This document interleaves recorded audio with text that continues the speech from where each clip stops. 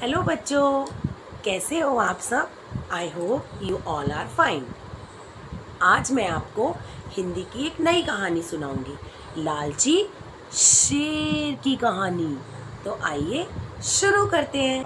जंगल का राजा शेर। वो बहुत ताकतवर था और बार बार जानवरों को पकड़कर उन्हें मारकर उनका शिकार करता था। जब भी वो जंगल में इधर उधर कहीं घूमने जाता तो जंगल के सभी जानवर उससे डरते और वहाँ से भाग जाते। एक बार जंगल में शेर को एक लोमड़ी मिली। शेर ने लोमड़ी से कहा, लोमड़ी, क्या तुम मुझे इस जंगल में सभी जानवरों के रहने की जगह बताओगी? क्या तुम मेरी मदद करोगी? लोमड़ी ने ऐसा ही किया और लोमड़ी ने शेर को सभी जानवरों की रहने की जगह बताई। शेर इस तरह जानवरों को पकड़कर मारता रहा और खाता रहा।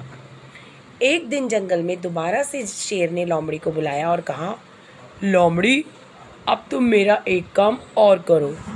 तुम जंगल में जाओ और ये पता लगाओ कि जंगल के सभी जानवर मेरे बारे में क्या सोचते हैं। लोमड़ी ने ऐसा ही किया।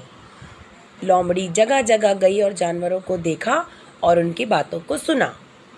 और आकर शेर से कहा, जंगल के राजा शेर, जंगल के सभी जानवर आपके बारे में बहुत बहुत कुछ बोलते हैं।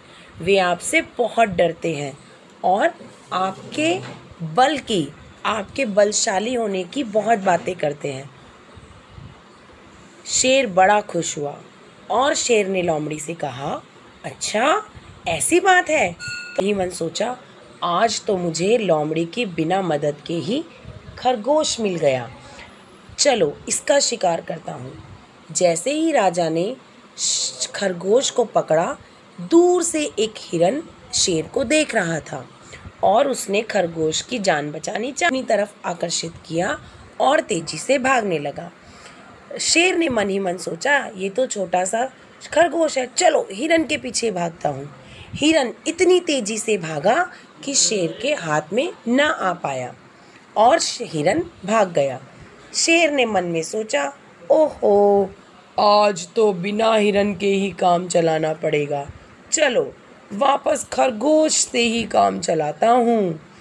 जब वो खरगोश के पास पहुँचा तो देखा वहाँ से खरगोश भी भाग चुका है। वो बड़ा दुखी हुआ और उसे अपनी गलती का बहुत पछतावा हुआ। तो देखा बच्चों, इस कहानी से हमें क्या शिक्षा मिली? हमें कभी लालच नहीं करना चाहिए। लालच के कारण हमारे पास जो है, हम उसे भी खो सकते हैं।